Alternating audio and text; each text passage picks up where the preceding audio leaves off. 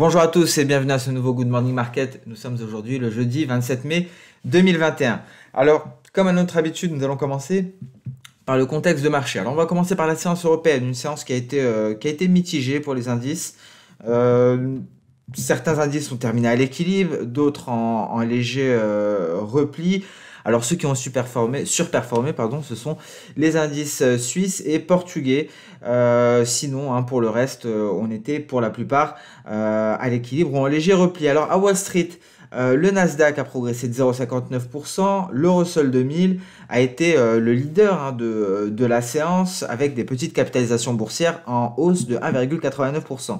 Le S&P 500 a gagné 0,19% et le Dow Jones euh, pratiquement à l'équilibre à 0,03%. Alors ce qui s'est passé hier, euh, tout d'abord, donc dans l'après-midi, nous avons constaté euh, une hausse du billet vert, du dollar américain par rapport aux autres devises, à part le dollar néo-zélandais, le NZD. Alors on en a parlé hein, hier matin concernant la décision de la RBNZ. Mis à part cela, l'or a progressé au-dessus des 1912 dollars l'once, euh, mais il n'est pas parvenu à se maintenir à ce niveau, mais on a tout de même sauvegardé la zone des 1900 dollars. Euh, lors de la séance d'hier. Le cours de l'argent, lui, s'est replié au niveau des 28 dollars. Alors hier, il y avait euh, très peu de, gros événements dans le calendrier économique. Concrètement, il y avait cette décision de la RBNZ qui a maintenu son taux à 0,25%, un, un, plus bas euh, historique, mais elle a signalé une hausse de 25 points de base des taux d'ici septembre 2022. Euh, on avait parlé d'ailleurs du euh, NZD-USD, on va en parler encore une fois parce qu'il y a eu un signal, un signal haussier et nous avons pu déterminer les différentes résistantes. Et donc c'est justement cette décision de la RBNZ qui a permis au NZD de, de surperformer. Euh, le pétrole, lui, a réussi à rebondir, à, bondir au cours d'après-midi après le rapport hebdomadaire sur les stocks, rapport du DOE, euh, qui a fait état d'une baisse euh, à hauteur de 1,662 millions de barils, supérieur aux attentes. Concernant les matières premières, et on en a parlé également hier pendant le point hebdomadaire, on avait parlé de la Chine euh, qui s'intéressait donc au, marché, aux spéculateurs de, sur euh, certaines commodities, certaines matières premières, et eh bien la Chine a interdit euh, la vente sur contrat à terme de matières premières pour les investisseurs particuliers. Concernant la crypto, PayPal va permettre à ses clients de retirer des crypto-monnaies vers des portefeuilles. Euh, et donc voilà, donc concernant les différentes euh, actualités, on a une petite actualité concernant la pandémie. Euh, L'État de Victoria en Australie, qui est placé en état d'urgence pendant 7 jours. On notera également que la FDA a autorisé l'urgence du traitement par anticorps développé par Vir Biotechnology et GlaxoSmithKline pour traiter les symptômes légers à modérés du Covid. Alors aujourd'hui, euh, nous allons prendre connaissance d'une salle de publication en provenance des États-Unis, notamment le PIB du premier trimestre, les commandes de biens durables pour avril et les demandes d'allocation chômage, demandes hebdomadaires. Toutes ces données-là seront à 14h30, euh, mais également les ventes de logements en attente aux États-Unis qui seront publiées à 16h, il me semble. Voilà pour le calendrier économique, mais tous les esprits sont déjà, euh, sont déjà focalisés sur le PCE. Demain, l'inflation. 14h30 aux États-Unis, c'est la publication de la semaine. On en a parlé également pendant le point hebdomadaire de lundi. C'est ce que les investisseurs attendent. Ça manque de catalyseur un peu hein, à Wall Street sur les indices et cela pourrait être un catalyseur de taille. Donc la donnée principale, la donnée attendue par les investisseurs, c'est ce PCE Core. Sinon aujourd'hui, hein, ces, ces quelques publications pourront créer des mouvements sur les marchés. On va commencer comme à notre habitude, par les indices boursiers. On va enchaîner sur les cryptos avec d'ailleurs une euh, épaule tête épaule inversée qui a été invalidée. On n'a pas franchi la ligne de coup et euh, on va voir le seuil d'invalidation justement. Pas grand chose sur le Nikkei, on est toujours aux alentours de cette borne inférieure du triangle symétrique. On passe directement sur le DAX en repliant ce début de séance 15 375 points en données journalières, un repli qui pourrait s'approfondir jusqu'à la Tenkan, Tenkan qui est située à 15 280 points environ. Euh, donc finalement, ce canal haussier semble bien fonctionner. Il semble bien fonctionner pour le moment. On passe sous la Kijun, on est en train de tester ce précédent euh, sommet, 15 368 points Attention, en cas de cassure, on pourrait approfondir la baisse en direction du nuage Ishimoku. Donc un repli dans l'enceinte d'un canal haussier. pour le moment, un canal qui, vous le noterez, est, assez large hein, tout de même. Donc, est-ce qu'on va casser ce niveau? Si on le casse, c'est directement le retracement à 78,6, 15 253 points. En revanche, hein, si on parvient à se ressaisir, hein, on pourrait euh, repartir, tenter de franchir à nouveau euh, les 15 500 points. Donc voilà pour le DAX en données H4, ça manque de catalyseur, on est dans l'enceinte d'un canal haussier, on vient très récemment de marquer un nouveau sommet et donc de tester la borne supérieure. Le Nasdaq se replie, échec face aux 13 700 points, on a clôturé à ce niveau et on se replie aujourd'hui. Euh, attention, vous voyez ici en données H4. Donc nous avons certes le double creux qui est toujours valide avec un objectif théorique qui n'a toujours pas été atteint. Et donc échec aux alentours des 13 730 points, mais on est en train de casser à l'heure actuelle. Ce n'est pas dit, on pourrait simplement marquer un creux intraday, mais on est en train de casser cette moyenne mobile simple à 200 périodes. Donc euh, prudence en ce début de séance parce que le prochain support est localisé aux alentours de ce palais de Kiljun, 13 550 points, hein, euh, un peu moins de 100 points plus bas. Et euh, donc, euh, cette projection n'est toujours pas invalidée hein, tant qu'on ne passe pas sous les 13 550 points environ.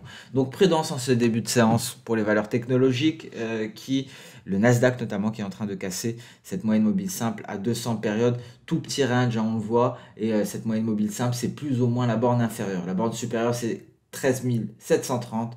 Il faudrait un franchissement des 13 730 pour espérer de rallier les prochains niveaux, notamment, et je passe sur du H1, l'objectif théorique de cette figure en double creux aux alentours des 13 950 points. Vous voyez le double creux ici, hein, je vais euh, mettre en avant les, les, deux creux. Voici le premier, voici le second, et la ligne de coup est à ce niveau-là. Ça, c'est ma ligne de coup. On l'a franchie, cassure à ce niveau-là. Je pourrais même abaisser un quelque peu la ligne de coup à ce niveau pour être un peu plus précis.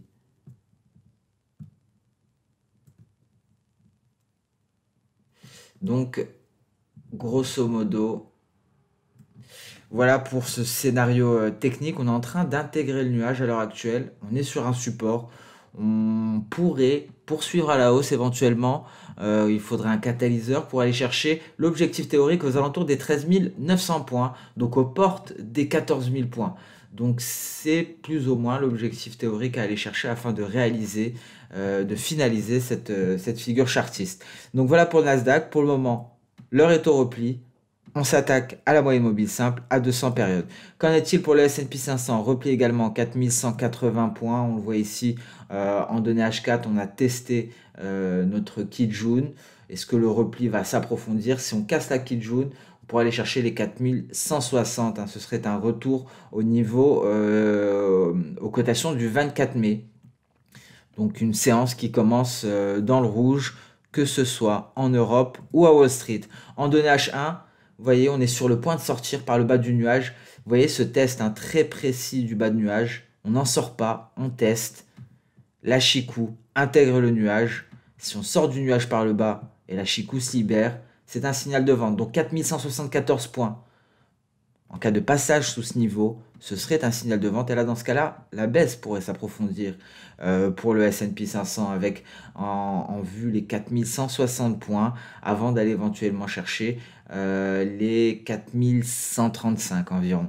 Donc prudence hein, tout de même sur le S&P 500 qui pourrait nous donner un signal de vente en données H1 et euh, je vous rappelle qu'en données H4 on pourrait aller chercher le retracement à 61,8%. Le Dow Jones également en repli, un repli euh, petite baisse généralisée si je puis dire, un repli qui pourrait s'approfondir jusqu'à la SSB, 34 100 points. Euh, c'est euh, un seuil un seuil psychologique, mais c'est un, c'est un gros support ici. C'est plus ou moins le sommet de ce précédent triangle symétrique. C'est le dernier rempart avant l'Apex. Souvenez-vous, le centre du triangle. Donc, première cible, premier support à tenir, le sommet du triangle. Si ça casse, l'Apex. Et si on sort par le bas, c'est un signal de vente qui pourrait être validé dans la foulée parce que ma Chikuspan sortirait dans le même moment par le bas. Donc je pense ici que le seuil d'alerte serait aux alentours des 33 800 points pour le Dow Jones. On est déjà sorti par le bas prudence hein, en donné H1. Euh, Et euh, ici, la Chikuspan tente de réintégrer le nuage. Donc un signal, un signal qui est plus ou moins validé, mais il y a quand même de la marge à la hausse. On pourrait se ressaisir, ce qui permettrait à la Chikou de réintégrer. Russell 2000, très belle hausse hier. Euh, les petites capitalisations boursières surperforment de retour à 2245 points ici. Et euh, si c'est le creux, euh, n'hésitez pas à tracer vos projections de soda hein, pour, avoir, euh, pour avoir un niveau à aller chercher. Sinon, on peut se baser sur euh, les, précédents, précédentes résistances. Hein. Nous avons les 2260, dernier rempart ici avant les 2275 points. Ce sont les résistances à aller chercher si on parvient à se hisser au-dessus des sommets intraday de la veille. Le Bitcoin, alors, euh, on avait parlé d'une épaule tête-épaule inversée. Cette dernière a été invalidée. Alors, tout d'abord, en donné H4, on a refusé de sortir du nuage par le haut. Vous voyez, la SSB a fait office de euh, résistance. On réintègre, on va chercher le bas de nuage. Et on le voit ici en donné intraday. Alors, je vais faire le point sur cette ETE e inversée qui a été invalidée. Elle n'a pas été euh, finalisée. Car pour finaliser une figure en ETE e ou en ETE inversé, il faut une cassure de la ligne de coup. On était presque hier matin, euh, mais on ne l'a pas franchi et l'invalidation est intervenue à ce niveau-là. C'est-à-dire lorsque l'oblique haussière qui relie le sommet, euh, le creux de la tête et le creux de l'épaule droite a été franchi. Donc ici, on invalide cette figure en épaule tête épaule inversée. Donc malheureusement, pas de signal hier. On retourne au nuage, un nuage qui est en train de hisser les cours euh, du Bitcoin. Donc c'est toujours pas gagné. Euh, d'un point de vue euh, technique, à voir ce que va nous dessiner le marché à présent. On passe sur le compartiment des matières premières. On a parlé de ce signal du gold. Hein. On va attendre la, clôture hebdomadaire pour statuer sur une éventuelle reprise de moyen terme. D'un point de vue euh, intraday, alors voilà, on tente de résister sur les 1900 dollars l'once. on est très, plus ou moins à ce niveau-là. Alors ce sera l'enjeu de la séance de se maintenir au-dessus pour espérer aller chercher les 1928 dollars l'once. Euh, en données euh, ici, en données intraday, on a exactement euh, on a les mêmes niveaux à aller chercher. On a une tendance haussière qui est soutenue par le nuage, par Tenkan et la Kijun. Hein, ça ne nous apporte pas grand chose. On voit le silver tout de même qui tente de passer sous son nuage, qui est passé sous la barre des 28 dollars, 27,70 très exactement. Alors tout l'enjeu sera de réussir à repasser au-dessus et euh, le scénario baissier, un scénario baissier serait déployé si on venait à casser les 27 dollars 32 ici, ce qui permettrait euh, donc de renforcer les perspectives baissières en direction des 26 dollars 56. Pétrole WTI, voilà, donc je vous ai déjà préparé les deux scénarios. En données H4, on est dans un tout petit range à l'heure actuelle.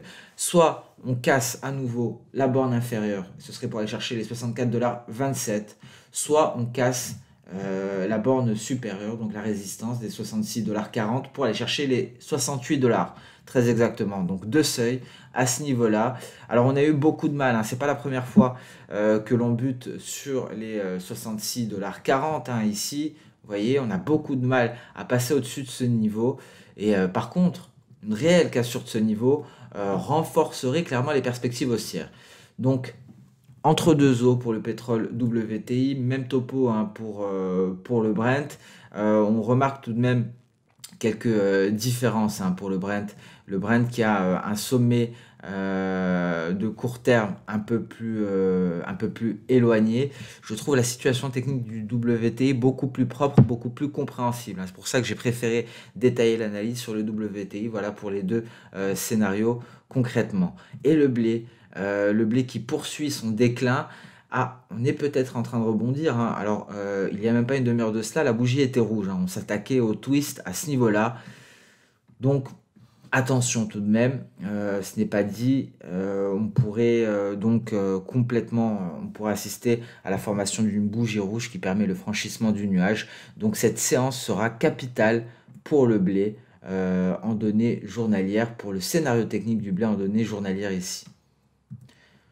Données intraday, ça ne nous apporte pas plus d'informations.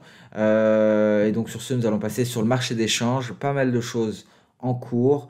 Tout d'abord, un biais vert qui échoue au contact du nuage, donc qui repart légèrement à la baisse. Ça favorise une petite reprise de l'euro-dollar à 1,22 à l'heure actuelle. Vous voyez ce rebond en données H4, on est allé chercher euh, notre nuage. On a tout de même marqué un nouveau sommet euh, de court terme.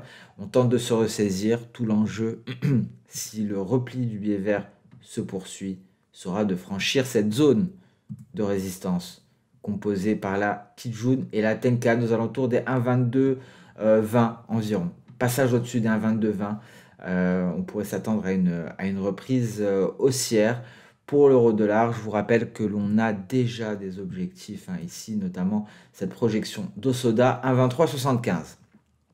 AUDESD, pas grand-chose. GBPUSD, alors on a notre scénario qui semble se déployer. Alors on, est bien loin de finaliser la formation d'un double top, mais en tout cas échec ici hein, euh, depuis un certain moment au niveau des précédents euh, sommets. Alors je pense que la traversée du nuage nous permettrait déjà de statuer hein, sur l'éventuelle formation de ce euh, double top, parce que la traversée du nuage, ce serait un premier signal, on attendrait la validation de la Chikuspan. Alors je m'avance peut-être un peu trop vite hein, là-dessus, en tout cas c'est un scénario que l'on garde en tête pour le câble, un câble qui tente de sortir par le bas de son nuage en données H4. GBP NZD, souvenez-vous, la belle euh, invalidation, le NZD qui retrouve euh, des couleurs après la décision de la RBNZ, et là aussi peut-être la formation d'un double top on se rapproche de la ligne de coût qui est, représentée par le retracement de FIBO à 38,2%. Donc pas mal de, choses hein, visiblement sur euh, le marché d'échange, pas mal de choses en cours de formation. GBP NZD, on est déjà sorti par le bas du nuage, euh, un signal qui a été validé par euh, la Chicouspan qui est sorti également par le bas de nuage, donc ce qui vient renforcer ce scénario de double top. C'est un peu ce qu'on attend sur le GBP-USD. Ici, la sortie par le bas du nuage renforcerait le scénario d'un double top en journalier. Euro AUD, on est toujours en train de, stagner à ce niveau-là depuis le signal qui nous a été donné, sorti par le haut de ce triangle euh, ascendant. NZDUSD très intéressant ici depuis la cassure de ce, euh, de ce wage à ce niveau-là, signal haussier et en même temps validation du signal Ishimoku. Donc on a les différentes résistances que l'on a abordées hier. Euh, et ici, d'un point de vue intraday, on est on marque une pause hein, aux alentours de, ce, euh, de cette projection d'Osoda euh, issue donc de cette, de cette vague haussière à 0,7290 USDN. On repasse au-dessus du nuage. Il faudrait attendre que la Chikou également sorte du nuage pour espérer une poursuite haussière, 109.25 environ, ce serait un signal. Donc voilà pour le marché d'échange, euh, voilà pour ce Good Morning Market. Alors je vous souhaite euh, une très bonne séance de trading. La plupart des données seront publiées à 14h30 en provenance des États-Unis. On est à J-1 de, donc, de la séance tant attendue du PCE et c'est à ce moment-là qu'on pourrait avoir un réel euh, catalyseur. Merci à toutes et à tous. Très bonne séance de trading et à demain pour le prochain Good Morning Market. Au revoir.